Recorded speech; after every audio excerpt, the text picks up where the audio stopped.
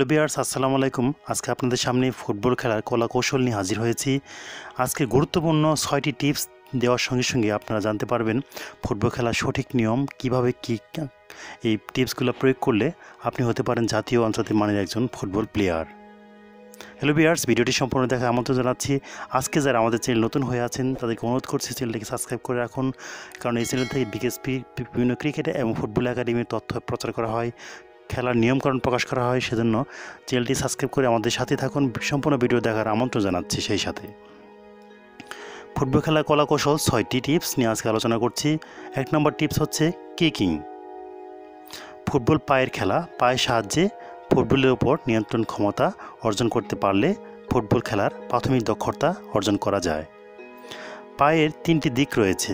পায়ের ভেতরের দিক ইনসাইড পায়ের বাহিরের দিক আউটসাইড এবং পায়ের পাতার উপরের দিক হচ্ছে ইনস্টেপ। কিক করার সময় পায়ের এসব অংশ ব্যবহার করতে হয়।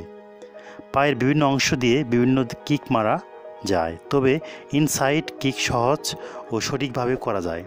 কাছাকাছি হলে এই কিকের মাধ্যমে বল পাস দেওয়া যায়। অনেক সময় ডান দিকের খেলোয়াড়ের কাছে বল পাস দেওয়ার সময় আউটসাইড কিক ব্যবহার করতে হয়। অর্থাৎ পায়ের পাতার বাইরের অংশ দিয়ে পাস দেওয়া সোজা ও মাটি ঘেঁষে বল পাঠানোর জন্য বাম পা বলের বাম পাশে স্থাপন করে দৃষ্টি বলের ওপর রেখে ডান পায়ের পাতার উপরের অংশ দিয়ে বলের মাছ বরাবর জোরে আঘাত করতে হবে। হাত দুটো প্রসারিত করে শরীরের ব্যালেন্স রাখতে হবে। কিকিং ফুট সামনের দিকে যাবে, বল উঁচুতে পাঠাতে হলে বলের নিচের দিকে কিক করতে হবে। দুই নম্বর টিপস, হেডিং। হেড করার সময় মনে রাখতে হবে, বলকে মাথা দিয়ে আঘাত করতে হবে। হেড করার নিয়ম, চুলের নিচে কপালের চ্যাপটা অংশ দিয়ে হেড করতে হবে। বলের দিকে দৃষ্টি রাখতে হবে। শরীরের উপরের অংশ পিছনের দিকে এনে কপাল দিয়ে আঘাত করতে হবে। হাত দুটো সামান্য প্রসারিত থাকবে।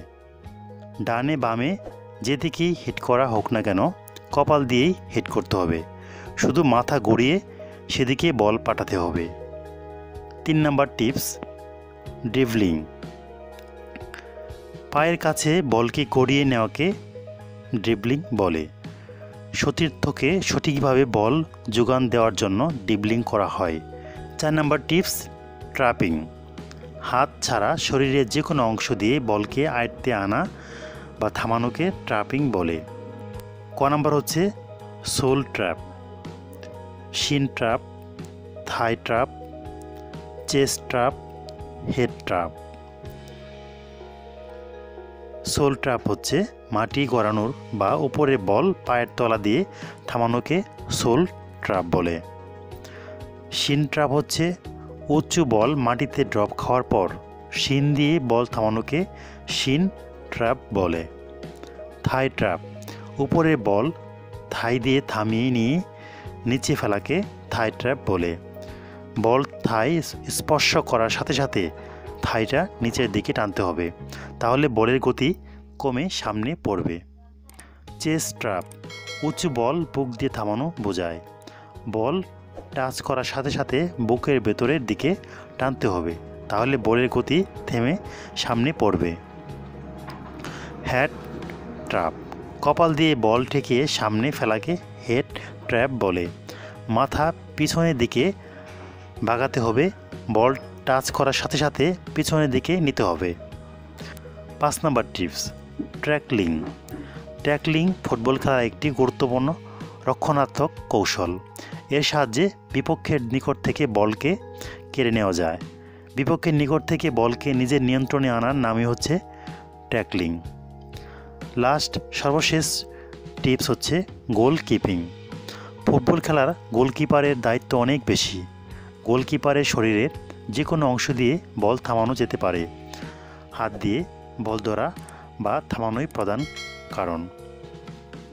যেমন, নিচু বল ধরা, কেবল মাটি দিয়ে গড়িয়ে আনে বা আসা সামান্য উপর দিয়ে বল আসে, সে বল এক পা সামনে ও অপর পা পিছনে দিয়ে হাঁটু ভেঙে কোমর থেকে উপরের অংশ সামনের দিকে ঝুঁকিয়ে এ বল ধরবে।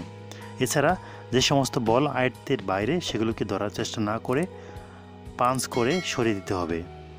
হ্যালো বিয়ার্স আজকে ফুটবল খেলার সকল নিয়ম, ছয়টি টিপস আপনাদের সামনে তুলে ধরলাম। টিপসটি আয়ত্তে রাখতে পারলে আপনাদের খেলার পূর্ণাঙ্গ একটি প্রশিক্ষণ আপনাদের সফল করে দিবে খেলোয়াড় হিসেবে। আপনি এই ছয়টি টিপস আয়ত্তে রাখতে পারলে আপনি হতে পারেন একজন ক্লাবে জাতীয় আন্তর্জাতিক মানের একজন প্লেয়ার ধন্যবাদ সকলকে ভিডিওটি দেখার জন্য। সেই সাথে বলছি চ্যানেলটি সাবস্ক্রাইব করে আমাদের সাথে থাকুন। এ ধরনের আরও অনেক টিপস পাওয়ার জন্য।